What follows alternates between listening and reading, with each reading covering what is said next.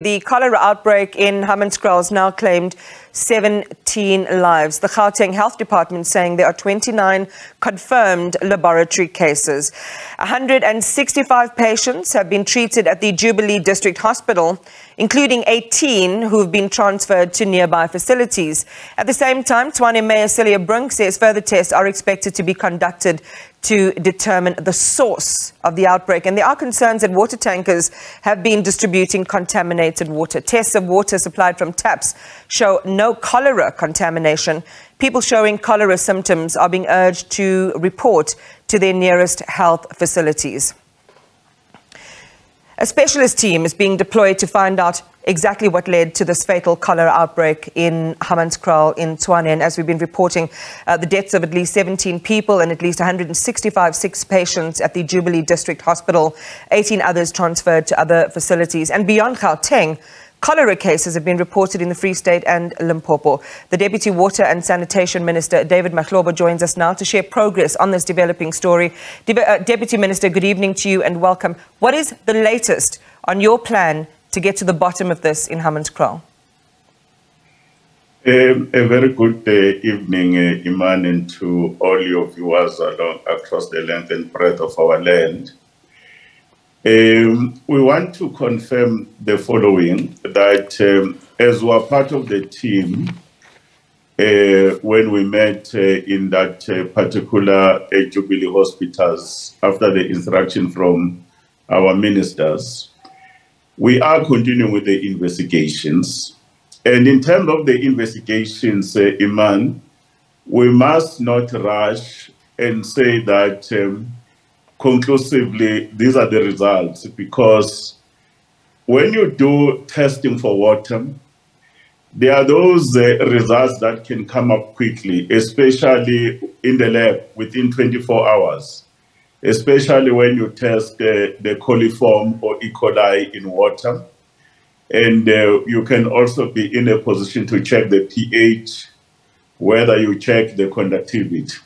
But ordinarily, if we are going to find whether there are symptoms or signs of any cholera bacteria uh, or salmonella, what you need, those tests, they need time. They will take about a week because after we have got the water samples, you must then be able to prepare what I can call it a culture or a medium, wherein you are going to be able to take some water drops after we have prepared that particular culture, and then you do an incubation. And after we have done an incubation, it takes a little bit of time for the bacteria to be able to germinate so that you can do that. And right. I'll be very wary to start to say the water is free from cholera on the basis of my own training and on the basis of the advice from our team.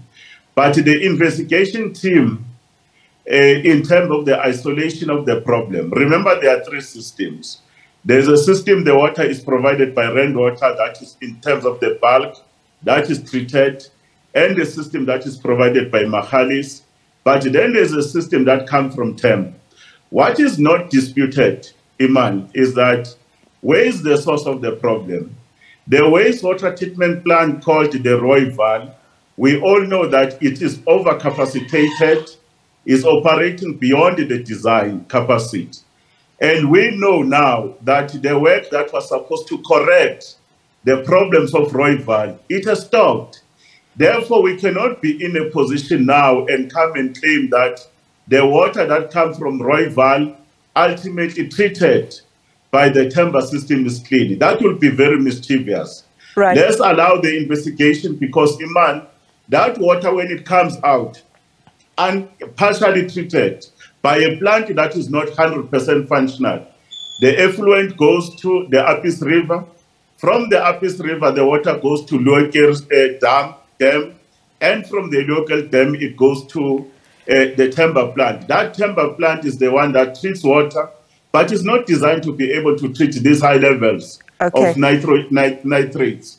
Therefore, that's what the team is concentrating on. The last point, Iman, the issues of provision for water in the meantime, we are very satisfied in the cooperation between ourselves and Tshwane that the water tankers that have been uh, moving around Hammanskraal, 52 of them those water tankers that are around the city of Tshwane, they are picking up water, obstructing water in the right obstruction points of Rand Water and Magalies. And we can guarantee that that particular source of water is good.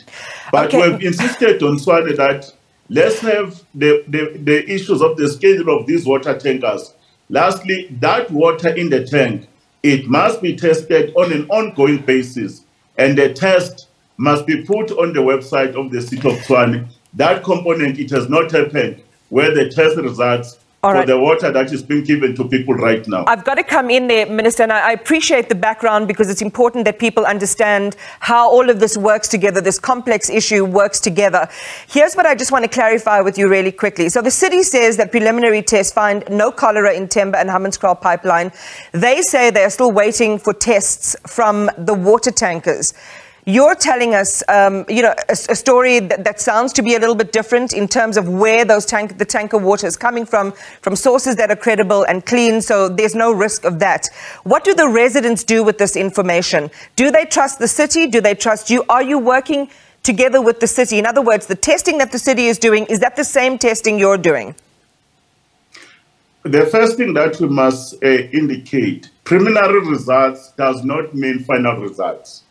When you get preliminary results, Iman, it will not tell you definitely that whether cholera is there or not there. Because when you wanted to do the sampling for cholera, you will have to be able to test for salmonella and the cholera bacteria. And you go to the lab, and in the lab, you prepare a, a medium, what is called a culture there. It takes time to do those particular tests. We will want that uh, we should not be able to say conclusively that particular issue of the uh, Temba plant must be removed from the investigation. It can't be removed from the investigation at this point because we know that the source of the problems are coming from the Rooiwal, the Rooiwal that fits into that river I mentioned, until to the Temba plant. Should, should the residents trust you, Minister? Should, should the residents trust what the department is saying or what the city is saying? Let, let, let, me clarify, Imani, so that we don't cause confusion and being accused that we're politicking. The water that has been coming from the Temba plant has been in people's homes through the taps over a period of more than two years. And the message from the city all the time, they have never said that the water that comes from Temba plant is fit for human consumption. They have always said that this water is not fit it must be used only for laundry. It must be used for issues like gardening and other things. But for human consumption, it must never be used. And our message, the water from the taps that come from the Temba treatment plant, it can't be used for human consumption. And it's our message. And the precautions of uh, issues of wash, wash and campaign in terms of using detergents, Eh, the searches that must be done, then the boiling of the water. All those messages, Iman, they remain relevant. We are working with the city of Tshwane. We shall be able to produce the results with Minister Mchunu.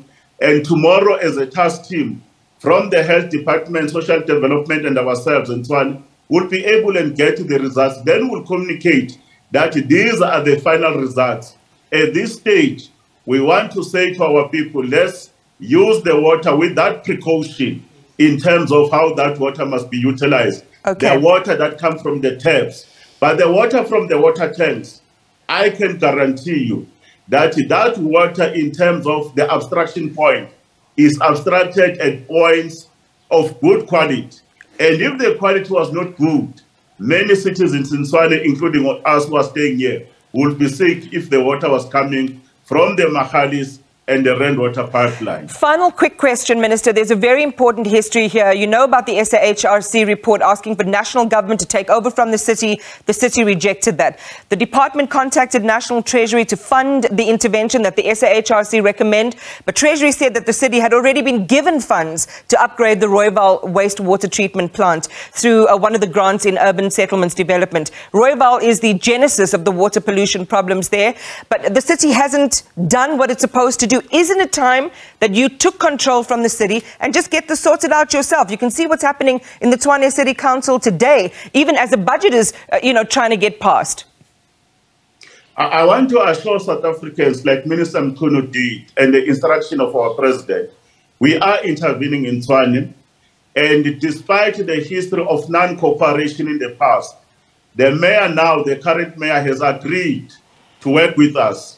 On Friday, with the minister, with the mayor, we'll work out the final comprehensive plan to resolve the issues, but including how are we going to fund, because the funding of revamping the entire system, it runs into billions of rands. After we've done that agreement on Friday, we'll be able to approach National Treasury, but that agreement will be led by the Department of Water and Sanitation, but it will be in a form of a court declaratory order because we will not be in a position to rely about the instability of governance in Tshwane and people reneging on that particular agreement that will conclude with the executive mayor Brink with Minister Mchunu on Friday.